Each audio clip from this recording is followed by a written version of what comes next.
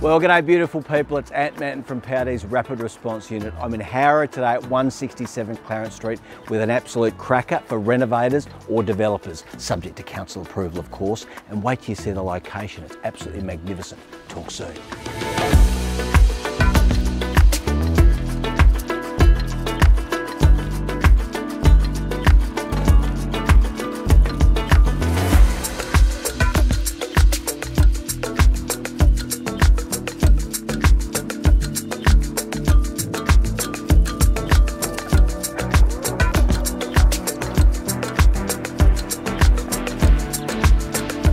So there have it folks, number 167 Clarence Street in Howrah. Solid brick home in need of work on nearly 800 square metres of land.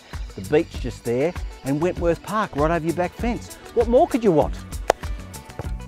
Yes, property just got serious.